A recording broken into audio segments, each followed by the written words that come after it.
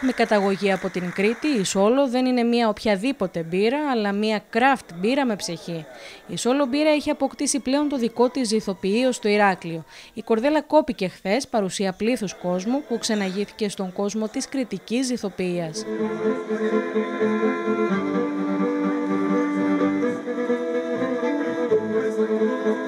Είναι ένα μικρό ζυθοποιείο, craft μπύρας. Craft σημαίνει ότι είναι κάτι χειροποίητο.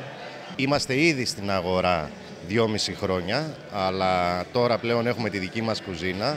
Έχουμε έξι βασικούς τύπους μπύρας και από εκεί και πέρα βγάζουμε κάποια special release, μικρές παραγωγές. Η craft μπύρα έχει μια ε, τεράστια γκάμα από τύπους μπύρας, ατελείωτη. Όσα συστατικά μπορείς να χρησιμοποιήσεις, τόσες μπύρες μπορείς να έχεις. Δεν υπάρχει φαγητό που μπορείς να μη συνδυάσεις με την πύρα. Well, um, the idea, uh, I guess it started... Πλέον είμαστε πάρα πολύ χαρούμενοι καταρχάς ότι έχουμε επιτέλους το ζηθοποιείο μας στην Καλυθέα στο Ηράκλειο.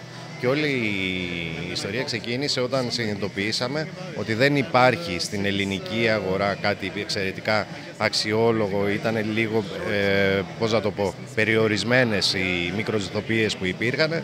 Και ειδικά στην Κρήτη ήταν τρεις Οπότε αποφασίσαμε να προβούμε σε αυτή τη κίνηση. Περήφανη και ασυμβίβαστη από τη φύση της, μπολιασμένη με την αιμονή πως η καλή μπύρα είναι ανθρώπινο δικαίωμα, η Σόλο δεν απευθύνεται στους λίγους, αλλά σε όλους όσοι επιθυμούν μια τέλεια μπύρα. Η Σόλο δεν φτιάχνει μπύρα με γνώμονα την εμπορικότητα, αλλά δημιουργεί και πειραματίζεται προσκαλώντας τους απανταχού φίλους της σε διάδραση, πρεσβεύοντας πως craft μπύρα σημαίνει πάνω απ' όλα ανθρώπινη επαφή. Το Μαυρομάνικο είναι μια α, μπύρα που φιλοτεχνήσαμε ειδικά για τους καλεσμένους ε, στην απόψινή βραδιά στα γένειά μας και σκεφτήκαμε ότι δεν υπάρχει καλύτερο δώρο από ένα κριτικό μαχαίρι που ουσιαστικά κουβαλάει όλη την ψυχή του κριτικού ε, την ιστορία, την παράδοση της Κρήτης. Η Σόλο παίρνει σάρκα και οστά μέσα από τον άνθρωπο, τη συντροφικότητα, τη φιλία, το μοίρασμα ιδεών, συναισθημάτων και όλων όσων δίνουν αξία στις στιγμές.